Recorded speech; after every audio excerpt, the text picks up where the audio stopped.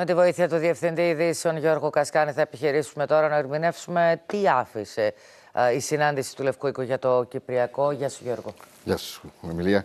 Να διερμηνεύσουμε λίγο την αμερικανική προσέγγιση σε αυτά τα πράγματα, τουλάχιστον από τα όσα προκύπτουν μέσα από επίσημες ανακοινώσεις και δηλώσεις που έγιναν αμέσως μετά τη συνάντηση.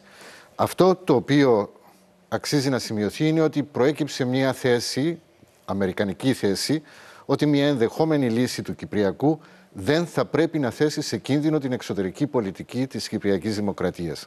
Με απλά λόγια, η Κύπρος παραμένει εταίρος της Δύσης, πολύ στενός εταίρος των Ηνωμένων Πολιτειών, ε, αποστασιοποιείται ακόμα σε μεγαλύτερο βαθμό από τη Μόσχα και τη ρωσική πολιτική και συνεργάζεται στενά με χώρες της περιοχής.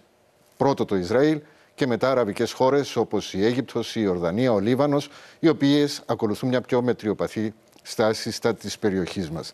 Σε όλα αυτά, αυτή τη στιγμή που μιλάμε, γιατί κανείς δεν μπορεί να προβλέψει ποια θα είναι η μελλοντική στάση του κυρίου Ερτογάν, η Τουρκία δεν χωρά σε αυτό το πλαίσιο.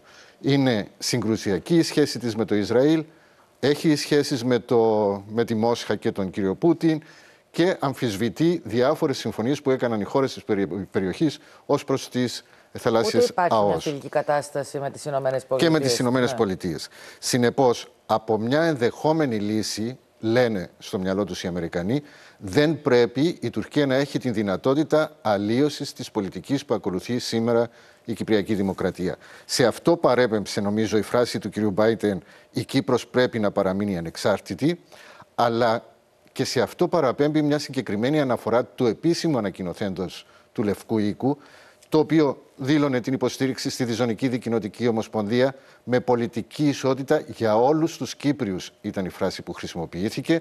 Και ξέρουμε πολύ καλά ότι τέτοια ανακοινοθέντα δεν γράφονται τυχαία, έχει μεγάλη σημασία. Αυτό το όλους τους Κύπριους διαφέρει πολύ στην ερμηνεία που, που δίνει η τουρκική πλευρά ως προς την πολιτική ισότητα, είτε για την εκπεριτροπής Προεδρία, είτε για μια υποχρεωτική ψήφο των Τουρκοκυπρίων. Και αυτό εννοούσε προφανώς και ο πρόεδρος της Δημοκρατίας όταν είπε ότι αναγνωρίζεται το περιφερειακό αποτύπωμα της χώρας μας και συνδέεται και με τη μορφή και με το περιεχόμενο μιας ενδεχόμενης λύσης του Κυπριακού. Αυτό, αν περάσει σε κάποιο στάδιο στις συνομιλίες, καλώ. Το, το άλλο, η άλλη όψη του νομίσματος όμως είναι ότι αν δεν περάσει για τους Αμερικανούς η σημερινή κατάσταση πραγμάτων δεν ε, ενοχλεί, θα μπορούσε να παραμείνει ως έχει με την Κυπριακή Δημοκρατία να ασκεί την κυριαρχία της στον χώρο τον οποίο βρίσκεται σήμερα. Σε ευχαριστώ πάρα πολύ Γιώργο, σε χαιρετώ.